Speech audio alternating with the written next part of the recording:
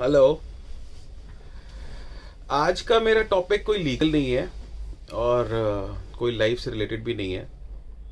But आज का मेरा टॉपिक मेरे उन फ्रेंड्स के लिए है, मेरे बैचमेट्स के लिए है कॉलेज और स्कूल के फ्रेंड्स के लिए है, जो 40 साल के हो गए हैं वो हैव जस्ट टर्न 40 तो मैं अपनी लाइफ आज और अपने सब 40 ईयर ओल्ड्स की लाइफ कंपेयर करूँगा ईगल से, जिसको हम हिंदी में गिद्ध बोलते हैं। तो अब ईगल की लाइफ का जो स्पैन होता है, जो लाइफ होती है, वो सेवेंटी ईयर्स की होती है 70 साल की लाइफ होती है एक ईगल की। और ईगल जब 40 साल का हो जाता है, जैसे कि अब हम हो गए हैं हम लोग, तब तक उसके जो फेदर्स होते हैं, जो उसके पंख होते हैं, वो बहुत भारी हो चुके होते हैं।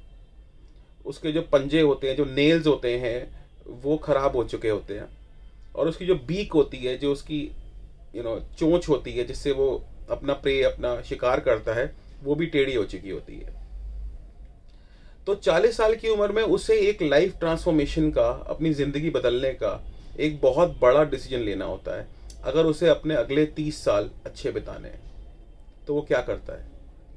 ईगल एक बहुत ही बड़े पहाड़ पे जाकर बैठ जाता है। और सबसे पहले वो किसी पत्थर से, बड़े पत्थर से के साथ अपनी चोंच, अपनी बीक को मार मार के, मार मार के तोड़ देता है। थोड़े दिनों बाद उसकी नई चोंच, उसकी नई बीक बन जाती है। उस बीक से वो अपने नाखून, जो नेल्स हैं, वो उखाड़ देता है और उसके नए नेल्स आ जाते हैं। और फिर वो अपने पंख, जो फेदर्स हैं, वो भी खराब कर देता है, सारे उतार देता है अपने पंजों से और चोंच से।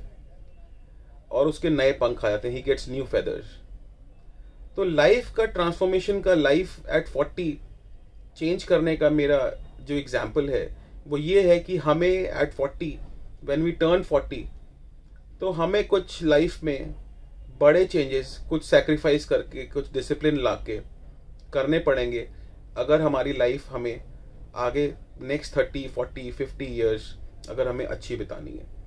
तो मेरे आज के वीडियो का सिर्फ़ यही एक मोटिवेशन था या ये स्टोरी थी।